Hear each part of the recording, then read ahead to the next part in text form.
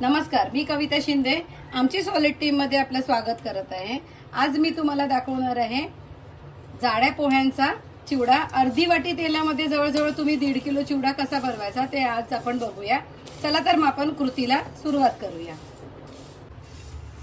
नमस्कार मी कविता शिंदे. आपली सॉलिड टीममध्ये आपलं स्वागत करते.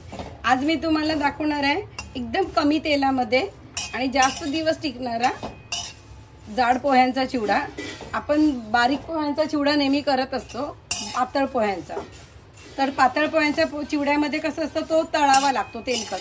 हा ह्याला थोडा वेळ लागतो पण हा चिवडा इतका खुसखुशीत होतो ना त्यामुळे सगळ्यांना आवडतो हा. अगदी म्हणजे अर्धी वाटी तेलामध्ये तुम्ही हा चिवडा बनवू शकता.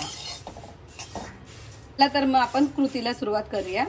मी हा एक किलो जाड पोह्यांचं जाड पोहे घेतलेत. म्हणजे आपण जे पोहे करतो ना घरी आपण कांदा पोहे करतो ना तेच पोहे आहेत. हे आता मी कोरडेच भाजून घेते. अजिबात तेल वापरायचं नाही. आणि ह्याला थोडं पाच मिनटं म्हणजे बारीक गॅसवर जेवढा तुम्ही भाजाल ना तेवढे त्याला क्रिस्पी येतं. अजून हे याला दाखवते. अजून हे क्रिस्पी झालेले नाही आहे म्हणजे याला अजून वेळ लागणार आहे. याला फास्ट गॅसवर करायचं नाही कारण तो नंतर मग तो नरम पडतो. अशा तऱ्हेने माझे पूर्ण पोहे भाजून झालेले आहे जास्त लाल नाही करायचे. थोडेसे असे पटकन तुटले ना की समजायचं पोहे आपले भाजून झालेले आहे आता फोडणीची आपण तयारी करूया. कढईमध्ये अर्धी वाटी तेल घेतलेलं आहे. आता हे मी एक वाटी शेंगदाणे घेतलेत. तुमच्या आवडीने तुम्ही कमी जास्त करू शकता. शेंगदाणे भाजून झालेत. आता पाव वाटी मी भाजलेली चणा डाळ घेतलेली आहे. त्याच तेलात आता हे पाव किलो काजूचे काप पण टाकत त्याला थोडे फ्राय करून घेऊया. अर्धी वाटी तेल घेतलं होतं. अजून पण तेल आपलं उरलेलं आहे. आता मी त्याच्यामध्ये हे मुठभर बदामाचे काप घात बदाम घातले अख्खे बदाम घातले. तुम्हाला आवडत असेल तर ह्याचे काप करून घाला. नाही घातले तरी चालेल हे तुमच्या आवडीप्रमाणे. आता हे एक वाटी सुक्या खोबऱ्याचे मी एकदम बारीक असे काप करून घेतलेले आहे हे पण एक दोन मिनटं ह्याला फक्त ह्याला रोस्ट करून घेणार थोडंसं हलकं. आता त्याच तेलामध्ये मी काळे आणि चॉकलेटी कलरचे हे दोन कलरचे मी मनुका पण पटकन घेते हे लगेच काढून घेते मनुका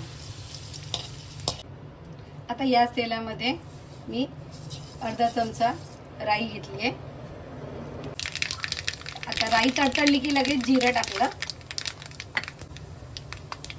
त्यातच पाव चमचा मी हिंग घालते. पाच सहा हिरव्या हिरव्या मिरच्या आणि दोन कढीपत्त्याचे जाळे पण मी टाकले फोडणीला. आता आपली फोडणी पण झालेली आहे. तुम्हाला आवडत असेल तर याच्यात हळद घाला नाही घातली तरी चालेल. पण एक मी याच्यात एक अर्धा चमचा हळद घालते आता फोडणीतच. फोडणीचा असा ना ठसका आला पाहिजे. म्हणजे आपली फोडणी एकदम मस्त झालेली आहे. आता गॅस बंद केलाय मी. आपले पोहे भाजून झालेले आहे. आता हे फोडणीत आपल्याला टाकायचे आहे. हे अशा तऱ्हेने सगळे पोहे एकदा व्यवस्थित हे करून घेऊया. आणि बारीक गॅस करून पुन्हा गॅस चालू करायचे आता. बारीक गॅस करून सगळे एकजीव करून घेऊया सगळे एकत्र. हे जर पोहे उरले आता आपले बनवले आपले. पोहे उरले ना हा चिवडा. आणि तुम्हाला वाटतं जरा नरम झाला ना की मग कधी काय करायचं?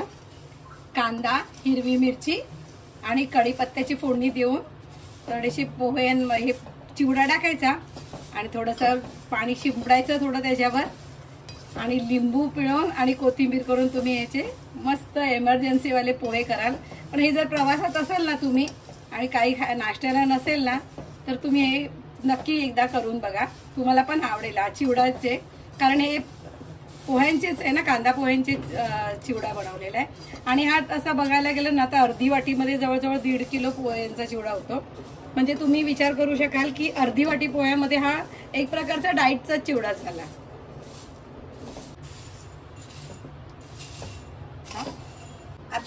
आता चिवडा आपला पूर्ण तयार झालेला आहे.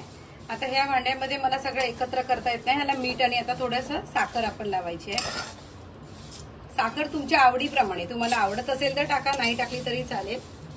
आता मी याला दुसऱ्या भांड्यामध्ये मिक्स करते. गॅस बंद केले आता मी. हळद एकदम मस्त लागलेली आहे आता चिवड्याला.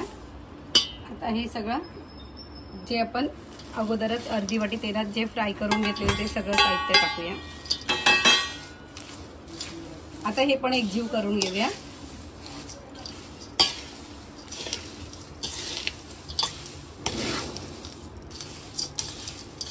सुंदर कलर आलेला आहे आणि छान वाटतं हे सगळं जे आपण तळून जे टाकलेलं आहे ना ते त्यामुळे चिवडा एकदम मस्त हेल्दी पण झालं वाटतोय तो. तेल नसल्यामुळे तुम्ही कधी खाऊ शकता. आणि सगळ्यात महत्वाचं मुलांना टिफिनला देऊ शकता. मुलांना टिफिनला हा चिवडा खूप आवडतो. कुरकुरीत कुरकुरीत छान वाटतो खायला त्यांना. चवीनुसार मीठ ऍड करायचं आहे मी याच्यात पाव चमचा आहे ना काळं मीठ पण टाकते. त्याच्याने टेस्ट एक छान येते. मी आता अर्धा चमचा पिठी साखर टाकते. जाड साखर असेल तर जाड साखर पण तुम्ही टाकू शकता. तुम्हाला या चिवड्यामध्ये आवडत असेल तर लाल लाल मसाला लाल तिखट काश्मीरी मिरची पावडर वगैरे काही टाकू शकता. तुम्हाला आवडत असेल तर याच्यामध्ये चाट मसाला टाकला तरी खूप छान लागतो. आणि नाहीतर कधी टिफिनमध्ये देताना पण वरून थोडासा हलका चाट मसाला भुरभुरला तरी तो चिवडा अजून छान लागतो. आता हे मीठ सगळीकडे व्यवस्थित लावून घेते. हे बघा अर्धी वाटी तेलामध्ये हा माझा दीड किलो जवळजवळ चिवडा तयार झालेला आहे. जर तुम्हाला माझा हा चिवड्याचा व्हिडिओ आवडला असेल तर लाईक करा शेअर करा. कमेंट करून ही रेसिपी तुम्हाला कशी वाटली सांगा. आणि जर माझ्या चॅनलवर नवीन असाल तर माझ्या चॅनलला सबस्क्राईब करायला विसरू नका. Thank you for watching